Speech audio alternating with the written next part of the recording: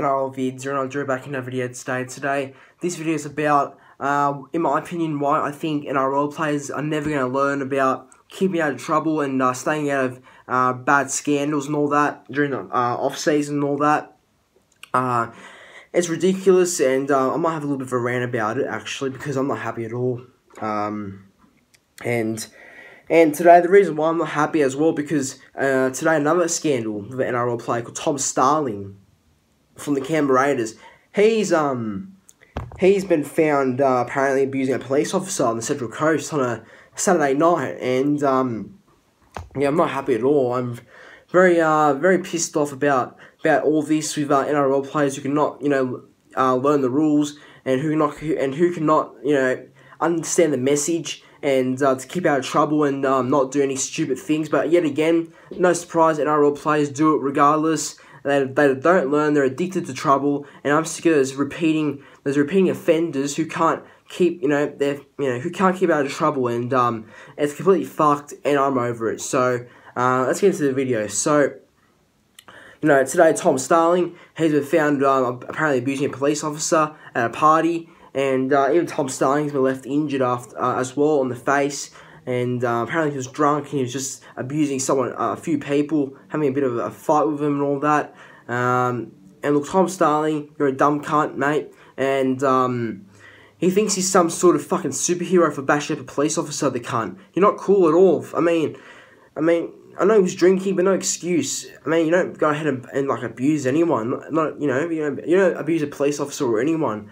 I mean, Tom Starling's just an idiot, and um, fuck him. To be honest, just fuck him. That's all I want to say. That's the only. That's the message right there, Tom Starling. Fuck you. Fuck you. Um, for making the NRL look bad, making the image look yeah, making the image of the NRL look bad, making your own club look bad, the Canberra Raiders, and making you know yourself look bad. You're you're an absolute idiot, mate. You're a, you're a clown of the. Yeah, you're an absolute clown at the moment, Tom Starling, and um, and um, get fucked, get fucked, Tom Starling, get fucked. Um, but I'm not happy at all because it just it's repeating every time. Every every off season, there's always an NRL player and more NRL NRL players. Not just one NRL player, like bloody eight or ten NRL players who cannot follow the NRL fucking rules and they just cannot stay out of trouble. And it's completely fucked because NRL fans and people in particular, they look up to some of these NRL players, and um, they're big fans. They go to games because of NRL, these NRL players as well. But unfortunately, they can't keep out of drug scandals, sex sex scandals, physical um, you know, abuse scandals, and all that. Um, they just can't keep out of trouble with some NRL players, and they just they just don't learn. Obviously, they just can't understand the message that uh, and the guidelines that the NRL send out to those players that stay out of trouble. It's just not on, and um, some NRL players wake up. Some NRL players who have been found recently of being in trouble, being involved in scandals, have to wake up to themselves because they're just absolute dumb cunts, in my opinion, and they're just nothing but pea brain sized fuckheads. And um, it just gets me pissed off because no, no, one can follow the rules these days in the NRL, and um, and it's an absolute privilege to be an NRL player as well. I mean, like I love to be an NRL player, you know um, because everyone wants to watch you. You're on TV every week. Everyone can like watch you. You're, you know, you're not you're well known. You're famous, and then you go away out and make your image look bad by doing whatever it is, like a drug scandal, uh, take, like taking powder or whatever, um, taking uh, like any bad substance, or just uh, you know apparently sexually assaulting uh, someone, like what bloody um, oh what's his name? Apparently Jarryd Hayne did, and all that. Um, and who else? Like, even um, you know, being involved, and even sex tapes been out there. Like bloody Dylan Arthur, big that big pappy cunt. Uh, he's been found of you know doing you know, uh, being involved in a sex tape. So is Kotoni Staggs. That Kotoni Staggs sex tape should have never been known. Um, it's an absolute mess with what NRL players do, and also there's also physical um, physical abuses. I mean, Dylan Walker has been one. Dylan Walker thinks he's some UFC fighting cunt who's all, all tough and all that. And then you got uh, Ben Barba, who's also done it before. He's bashed up his wife. Um, yeah, Ben Barba's a, a complete tool. He's um, also taken um, you know cocaine before after the 2016 NRL Grand Final. So and, and Ben Barba's Ben Barba's a complete crook in my opinion. He's an, um he's such such yeah he's just an idiot. Ben Barba, I don't know what he's doing now. Probably working at the bin the dunce the uh, you know in Townsville um, dumpsters or something. The poor cunt. Um, and also, um, and players like Brent Naden, Michael Jennings, uh, Bronson Xerri, and most recently the Titans assistant coach Michael Gordon, the former NRL player.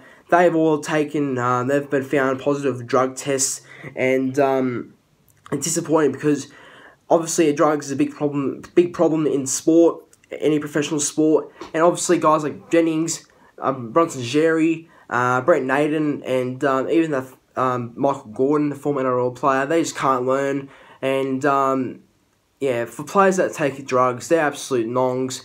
And um, and seriously, they can go fuck themselves. Absolute dumb cunts. Um, I hold, I hold no sympathy for any of those players who take drugs, especially because, uh, you know, I don't care how good that NRL player was. I don't care how good he was. I don't feel sorry for any of them for taking drugs because uh, taking drugs in a, in a professional sport's a big problem, and um, yeah, it's, it's completely disgusting when you take drugs, making the NRL look bad. And I'm sick of NRL players making the uh, NRL look bad, making their clubs look bad, making themselves personally look bad. But I don't care about uh, NRL pl- uh, players who get into trouble because uh, pissed off at them especially. But they make the, the whole NRL game look bad. They make fans upset because they look up to those players who get who have who have got into trouble.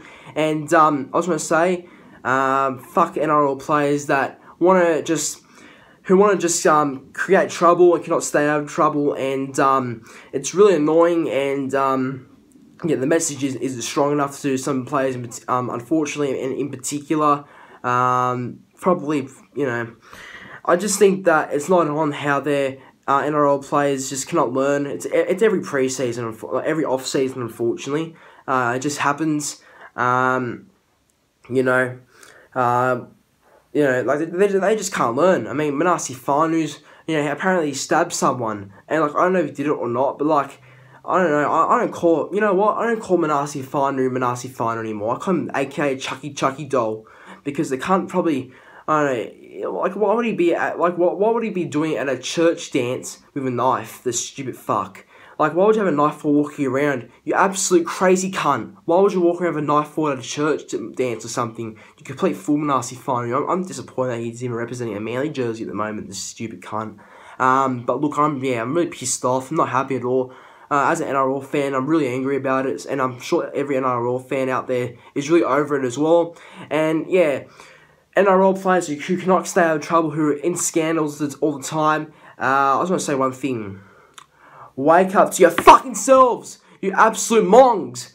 Just wake up to yourselves. I'm really, yeah, it's fucking annoying. I just, I just cannot stand NRL players getting themselves into trouble any like anymore. You know, obviously now NRL has a reputation of having players who who um who always caught up in, into trouble, and I'm sick of it. And um and um yeah, fuck players who take drugs, fuck players who who um abuse women, uh, and fuck players that uh, also, just get into fights and I think they're all cool cunts for just bashing up people because it's not on and um, yeah, fucking all players do that. I'm, I'm really over it, guys. I'm just yeah, sorry about the rant, but I have to get it off my chest because I'm really disappointed and really uh, frustrated with this ongoing um, NRL shit uh, that you know off-season scandals and all that. It's really annoying and um, yeah, I'm not happy at all. So guys, that's the end of the video. Please like, comment, subscribe to the channel, and I'm really over it. And just, yeah, I'm really over it.